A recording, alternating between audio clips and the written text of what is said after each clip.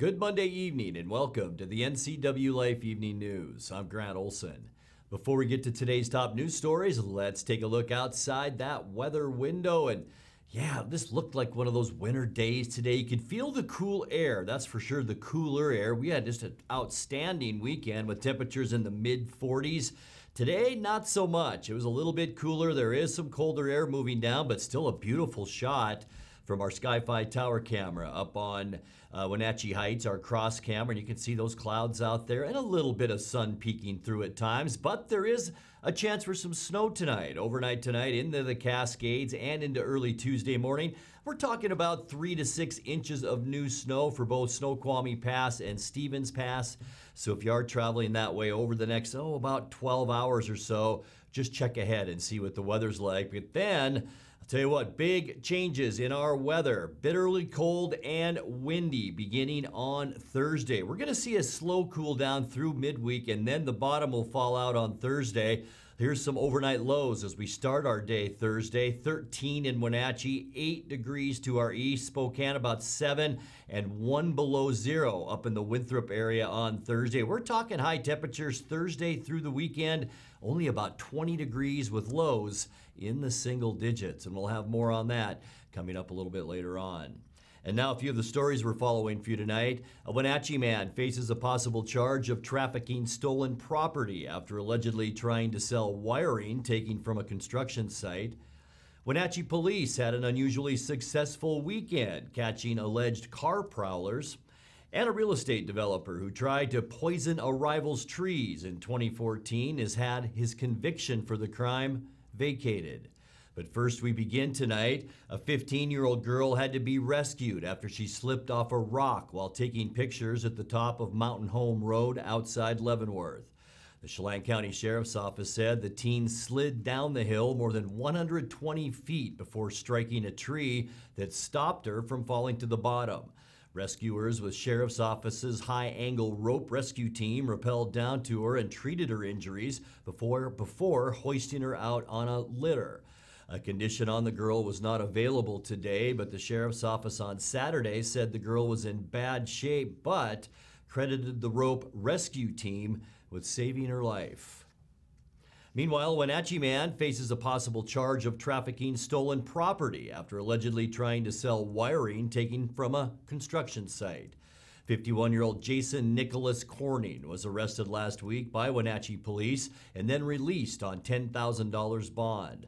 Construction supervisors at Grace City Church in Sunny Slope said someone cut electrical cord leading to one of their on site trailers early this month, and police said Corning later sold $80 worth of wire matching that stolen material at a local recycling center.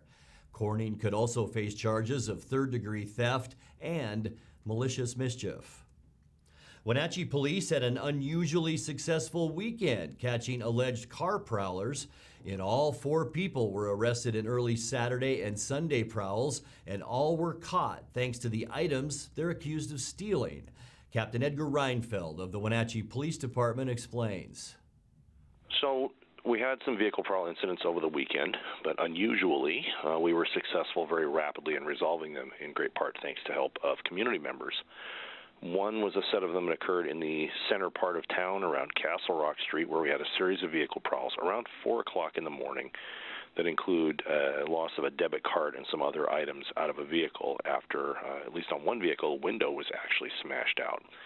So that occurred uh, early, early Saturday morning, like 4 o'clock in the morning Saturday. About 11 o'clock in the morning, got a report of the card being used at a local uh, restaurant and actually had video of the card being used. When we started uh, working on that case, it developed further, and we were able to develop suspect information, and we're ultimately avail- uh, able to arrest a Huberto Chapa. Mr. Chapa is 43 years old and is a Wenatchee resident. He was arrested for a variety of charges, including identity theft, vehicle prowl, and some others. As we continue developing this case, we served a search warrant on a residence and recovered some stolen property uh, in question, including a phone that was uh, stolen as part of one of the vehicle prowls in this case. So Saturday night into Sunday morning was our second set of vehicle prowls we learned of when a person called in shortly after 4 o'clock in the morning again to let us know that about 15 minutes prior, uh, their unlocked vehicle was entered on a residence also in the center area, relatively near to Washington Street. Uh, they had noted uh, two people were in their car, and they did not realize at first that they had lost any items. But a little while later, that we uh, did find that they had stolen some things, including one item that was dropped and was recovered right in the area. A phone that was stolen in one of the vehicle prowls was turned back on and was tracked to a local hotel. Uh, officers worked through that, uh, developed a search warrant for a hotel room, and made contact at a hotel room there, where they made three arrests for vehicle prowl, including uh, Zachary Paul Williams. He's 35 years old, most recently with an East Wenatchee address. Also arrested was a Kirsten Anderson. She's 26 years old with a Leavenworth address. Third was a Gregory James Cook. He's 34 years old with a Wenatchee address. And before we go to break, a real estate developer who tried to poison a rival's trees in 2014 has had his conviction for the crime vacated. 52 year old Ted Schroth, a Bellevue owner developer of Chelan Lookout, heaped salt around the base of 123 young poplar trees belonging to a neighboring housing development. He pleaded guilty to second degree malicious mischief and was sentenced to 45 days in jail. He was able to ask for his conviction to be expunged after five years with no further criminal convictions. And on Friday, Chelan County Court Commissioner Scott Volan granted the request. Volan also agreed to restore Schroth's right to possess a firearm.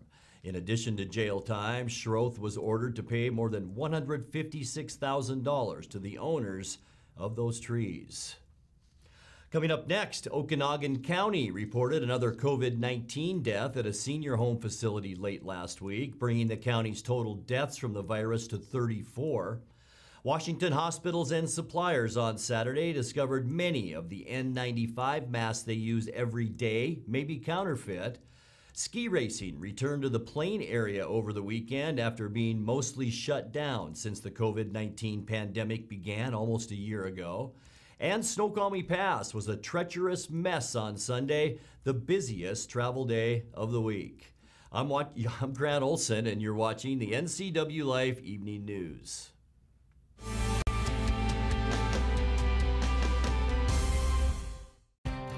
Merry Maids of Wenatchee has been professionally cleaning and sanitizing homes and businesses in north central Washington since 1998. Merry Maids uses commercial grade cleaners and viricides. Merry Maids has implemented additional safety and sanitation protocols. They are strictly following CDC guidelines for the safety of their clients and employees. For expert help with cleaning and sanitizing your home or business, call or look up Merry Maids of Wenatchee to schedule your free estimate today.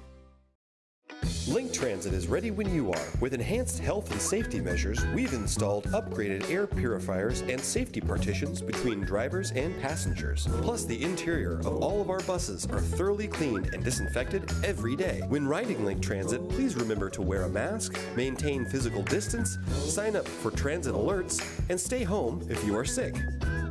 Healthier Transit is here. Go to linktransit.com to learn more.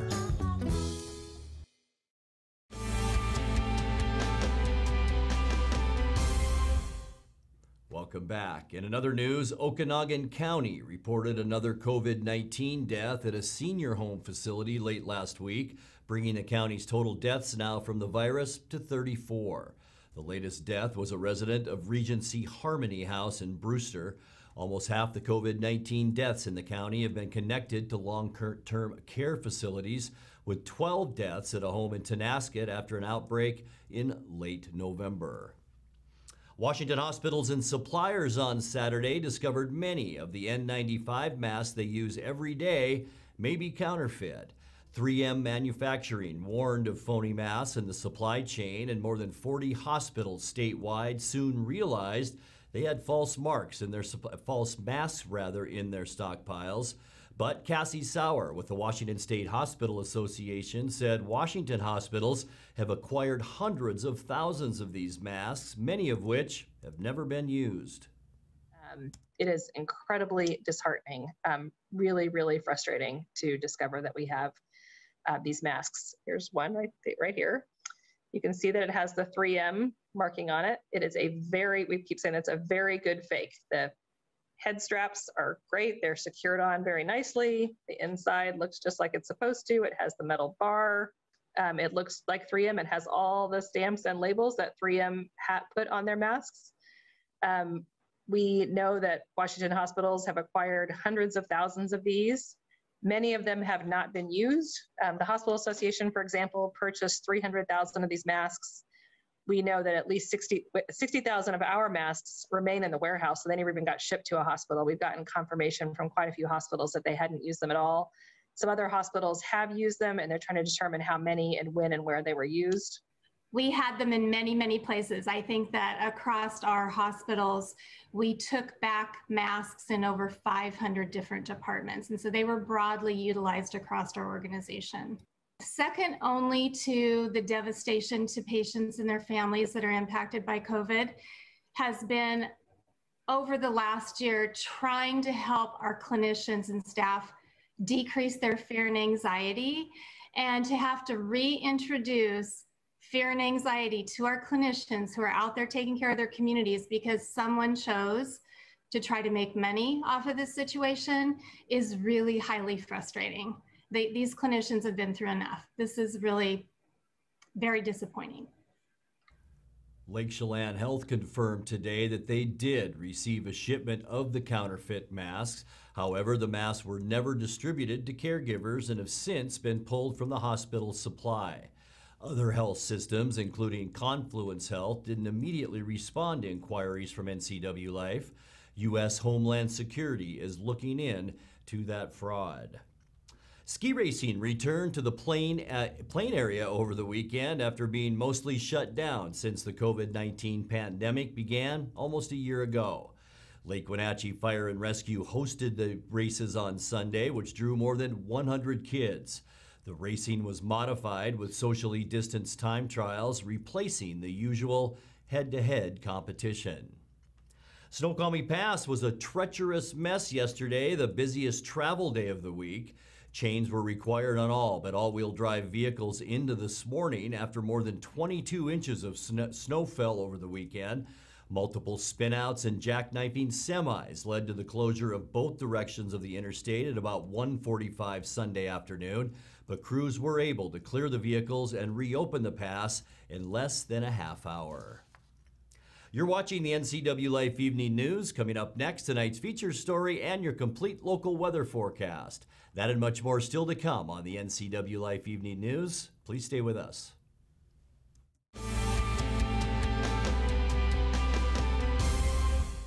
I'm Tom from Alpine Air Heating and Cooling. At Alpine Air, we think of ourselves as customer service oriented retailers. When you make an appointment, please visit our store, meet our people, see our shop. We are serious about heating and air conditioning. Carrier and Alpine Air are offering huge factory rebates and financing options for all your needs. Turn to the experts at Carrier and Alpine Air. Call for your free replacement estimate. Heat and air, call Alpine Air 662 6846. Winter is a great time to trade in your current hot tub. Turn your old hot tub into money with Blue Lagoon Pool and Spa's trade in program.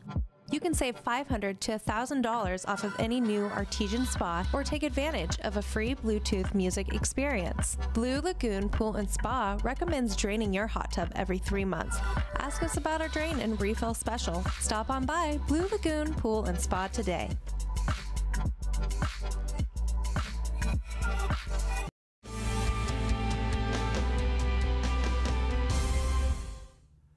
Welcome back to the NCW Life Evening News.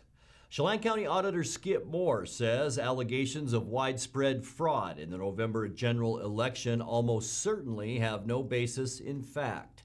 In tonight's feature story, Moore, Moore told Wake Up Wenatchee Valley's Dan Kuntz that election laws vary from state to state, but the systems are designed to prevent the sort of fraud being alleged. The statements that were made and the rhetoric that came around concerning voting and elections. I think a lot of the mistakes on both sides, when they start talking about elections, They get two different things tied together. What we'll see is, and what we have seen, is that the ballots were counted correctly. Recounts showed that when the recount was conducted, you count the pieces of paper, you look at the results, they matched. But that's one part of an election, and that's where we the, everything kind of gets rolled over into one thing when people say it was fraudulent. I don't think there was a case in the nation of people miscounting ballots. I'm willing to discuss what ballots were in the mix. However, along those lines, every state has their own rules. Constitution allows for states to conduct elections, and they have their own laws. As long as the state followed their laws, accepted the right, the, the correct ballots, ballots that should have been accepted, then we saw that the ballots that were counted, the results were accurate. Now we're getting to, the discussion comes down to should a ballot have been counted or not. That's going to change from state to state based on rules. But to say a blanket statement that it was fraudulent or an election was stolen is, it really does upset me.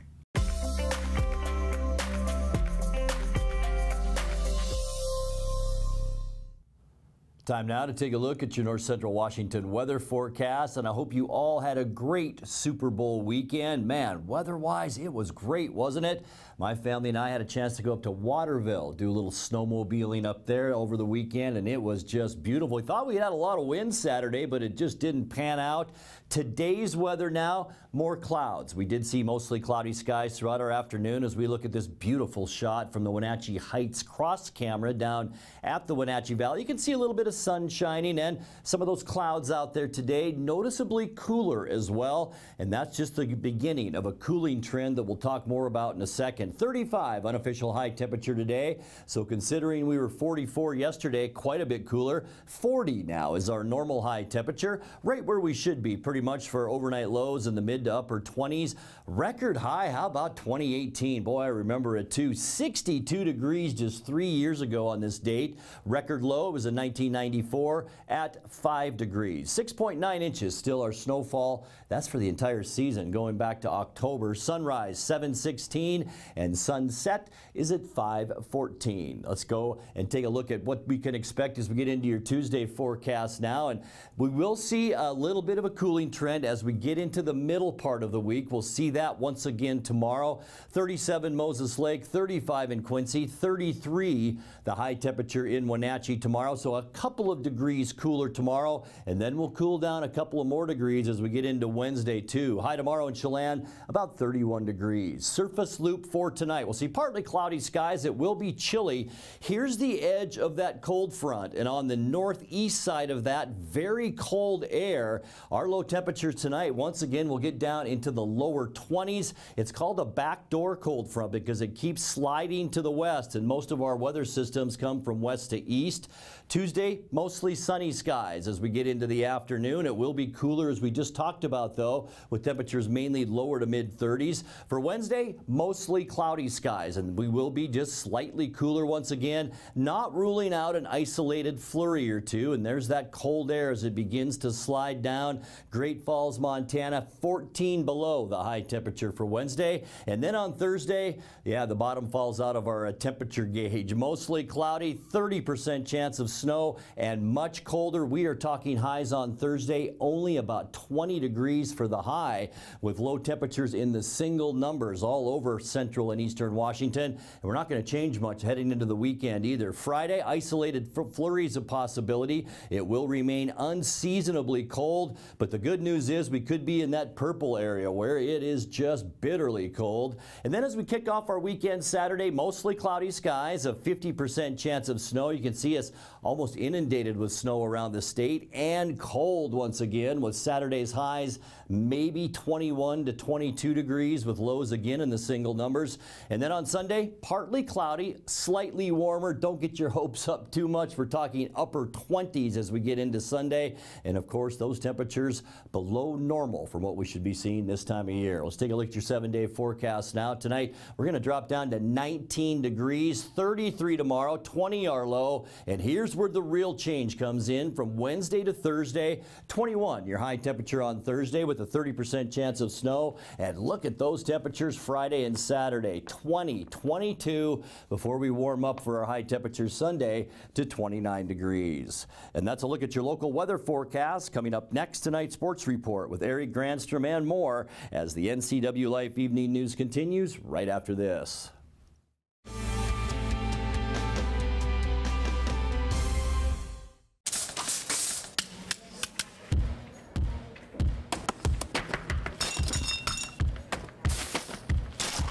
Winco, we do everything.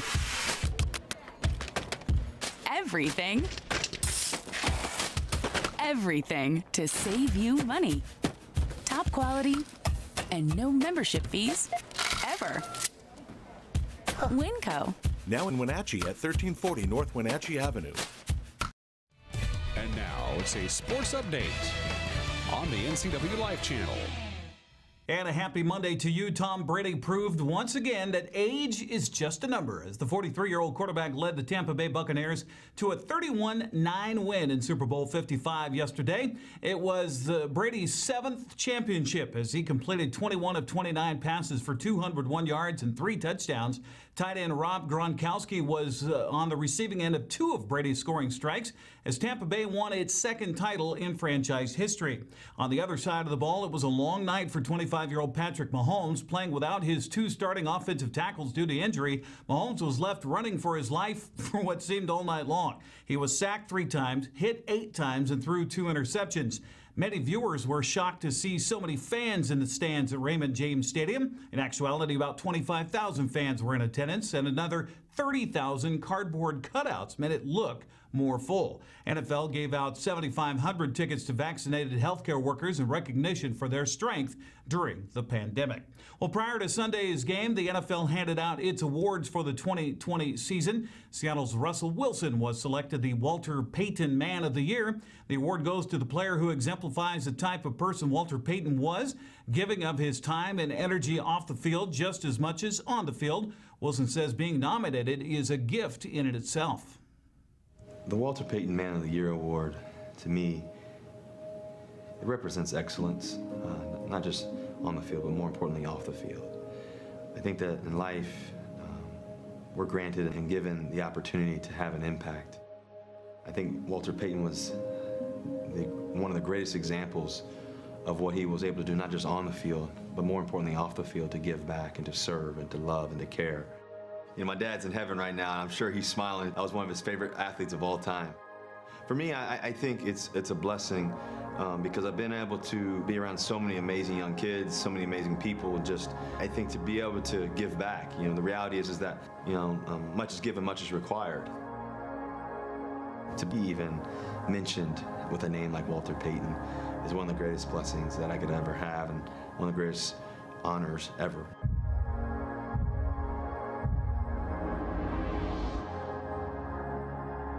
Wilson becomes the second Seahawk to ever win the Man of the Year award. He joins Hall of Famer Steve Largent, who won the award back in 1988. With the award comes $250,000 check that goes to Russell and his wife Ciara's Why Not You Foundation.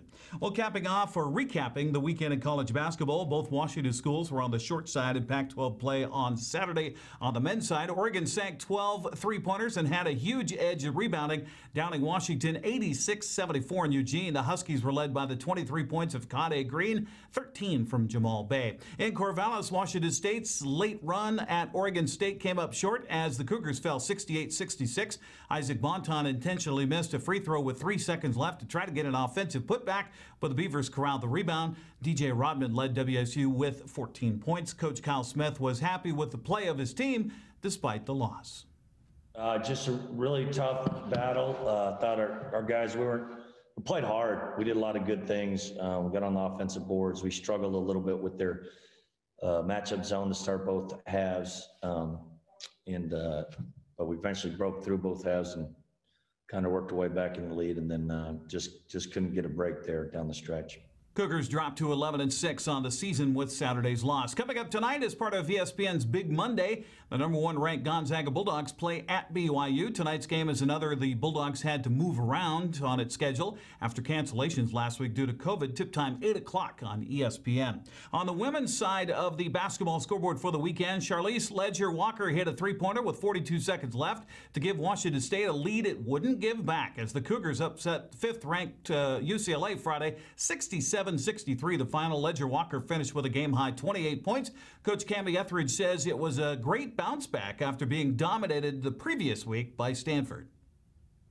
Kind of blown away that we were able to pull it off and really proud from our team. Um, um, you know, knew we had to bounce back in some ways that it's, you know, after playing and getting pounded a little bit by Stanford, um, you know, regrouping a young team is is not always uh, definite. You know, you don't know that your team will respond the right way. But I thought they really, you know, bought into just trying to grow through this and understand that you can get better even when you play and lose to top tens and top five teams in the country and and really just took it another step knowing that you know UCLA guards different really good they're they're awesome defensively but they are very different than how Stanford guards so you know, it was it was nice to see us adjust and and get get back to a little bit more ball movement and and see the ball go through the basket. So just proud of this team, happy that they can experience a win against a top a top five team in the country.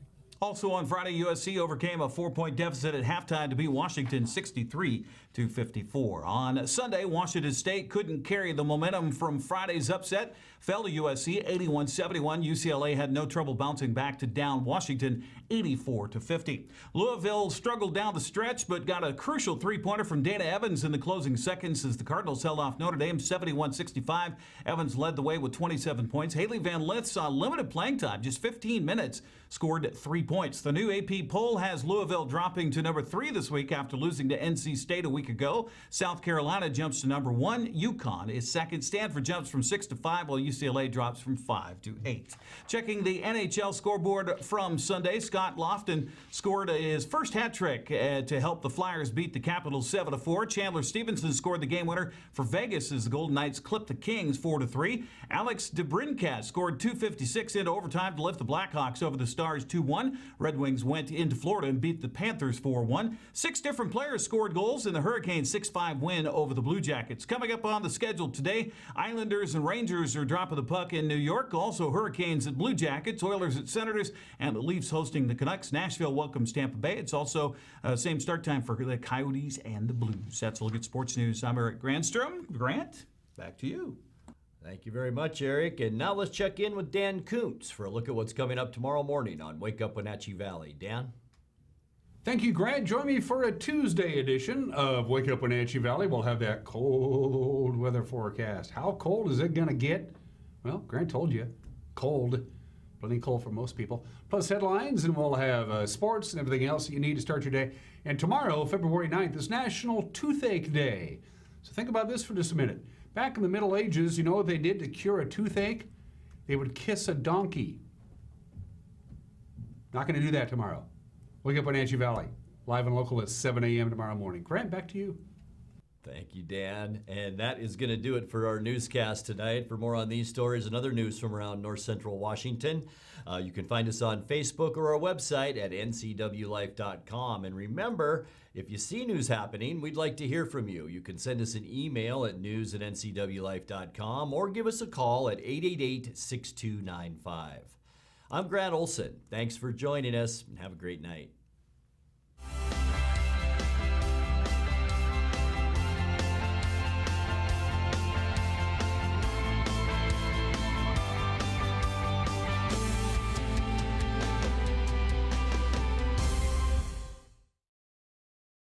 2021 models are arriving at Sangster Motors. General Motors is on the move with the all-new 2021 Yukon. Yukon is redesigned from the ground up with a bold new look and all the latest technology. Also new is the Canyon AT4 pickup. This off-road equipped mid-size truck will challenge any rival for performance and value.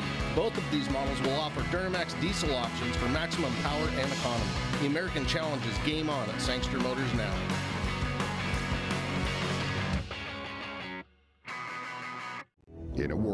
Afraid of technology, one man, one show. will bring you the newest innovations that may just change your life. This summer, Ray McNeil and your weekly tech update is your weekly tech update with Ray McNeil.